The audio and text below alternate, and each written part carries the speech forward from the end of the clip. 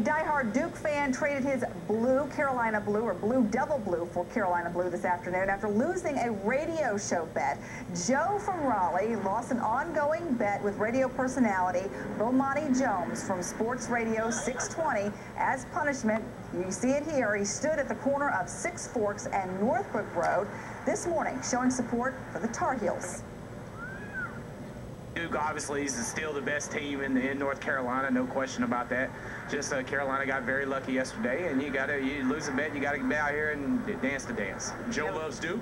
Joe swears by Duke. Joe sent me an email and said that if Carolina won the regular season championship, that he'd come out here for one hour with his hair painted blue and celebrate. And then he started feeling himself and decided to make it a full three hours. And that's why he's out here right now drinking Mountain Dew, dancing on the street. Having a good time, obviously.